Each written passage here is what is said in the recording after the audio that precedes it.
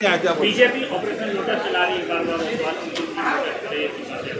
बात से प्रमाणित हो रहा है ना कि यहाँ भी कोशिश कर लिए थे असफल कोशिश की। सर सिलेंडर के दामों को लेकर के भाजपा ने एक बार उसकी पिछला चुनाव भी अपने अपने कुबत पे नहीं लड़े थे।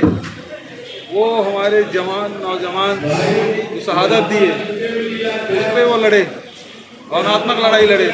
कोई नोटबंदी और जीएसटी नाम से वोट नहीं मांगे थे। इस इस पाँच साल में कुछ किए ही नहीं इनके पास तो उपलब्धि के नाम से ज़ीरो बटा सन्नाटा है।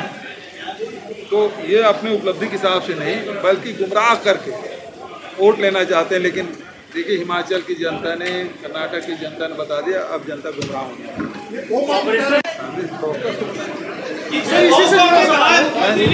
भारतीय जनता पार्टी क्या चलेगा? कैसे अभियान? ये ये नशा मुक्ति होना चाहिए और नशा मुक्ति के खिलाफ लगातार अभियान चलाना।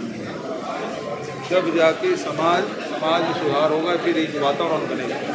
तो नशा निश्चित रूप से व्यक्ति को नुकसान पहुंचाता है, परिवार को नुकसान पहुंचाता है, समाज को इसलिए नशा विहीन समाज और हम कदम बढ़ाएँ।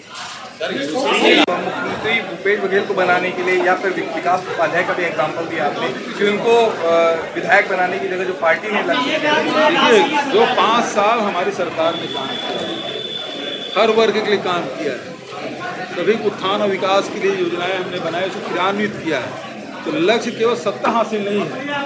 लक्ष्य ये है कि गढ़बो नवा छत्तीसगढ़ का जो हमारा स्लोगन है, उसको लेकर जो आगे बढ़े हैं, और उसमें हम हम निश्चित रूप से लोगों के जीवन में परिवर्तन आया अभी। तेलंगाना किसान 500 किसान आए थे और तीन दिन से यहाँ हैं। राजनांदगांव मिलके भिंड ज़िले में मिलके किसानों से मजदूरों से गौपालकों से सबसे बात उन्होंने की।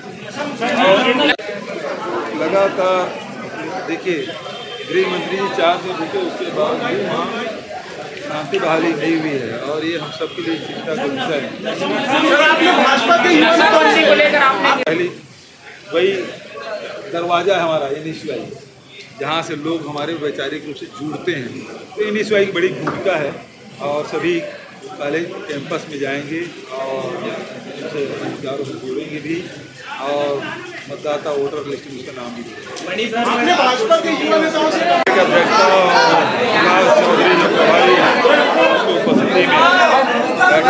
आने वाले के की नेताओं